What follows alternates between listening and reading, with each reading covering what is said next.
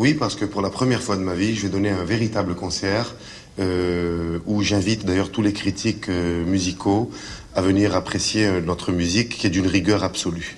La musique orientale, c'est une musique qu'on apprend de bouche à oreille. C'est une musique qui se transmet de père en fils. C'est une véritable aristocratie de la musique.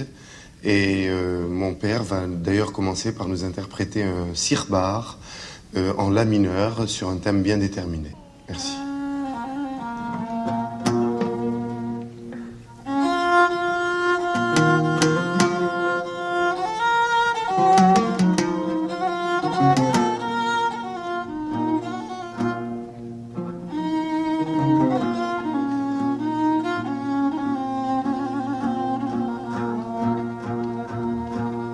ليل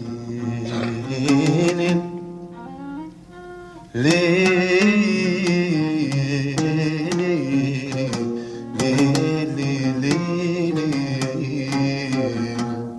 أغلب شمنا منا منا ما ننحبش نروح يما لي جون دو لا فيل فيل فيل سرقوا لي القفر يما أنا